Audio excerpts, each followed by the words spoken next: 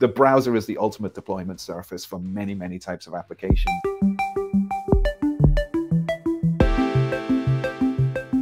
when you can run things without an install and without like DLL Right. hell, if you remember that thing. Oh Uh, my you goodness, know, yes. it- that, that to me makes it really, really special.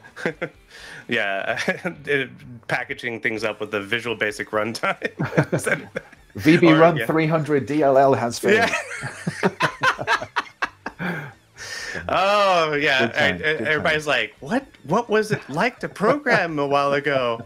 Uh, just know that, hey kids, you've got it easy now. Okay.